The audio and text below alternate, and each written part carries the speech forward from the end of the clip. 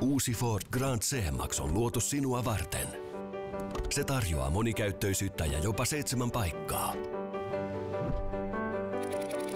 Helppokäyttöiset sivuliukuovet, vähäpäästöiset EcoBoost bensiinimoottorit.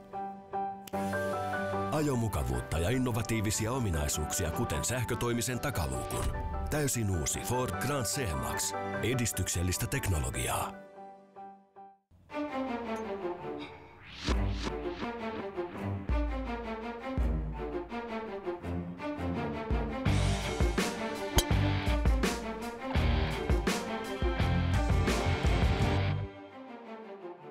No loppukädessä rytmi ja rentous oikeastaan mahdollistaa sitten nämä kaikki hienot asiat, mitä tässä on opiskeltu. Alkuasento, vartalon kierrot, eteen, taakse, osumat, loppuasennot. Eli se on niinku sit se, joka ratkaisee sen koko kahden sekunnin kehä, että onnistuuko vai eikö onnistu.